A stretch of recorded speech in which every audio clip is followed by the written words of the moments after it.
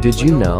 Messi was addicted to soda drinks, and that was a challenge for Pep as he was against it. Pep Guardiola was given a dressing room speech saying his players may not have that kind of drink before a game. Messi stood up, grabbed a Coke and drank it in front of all the players.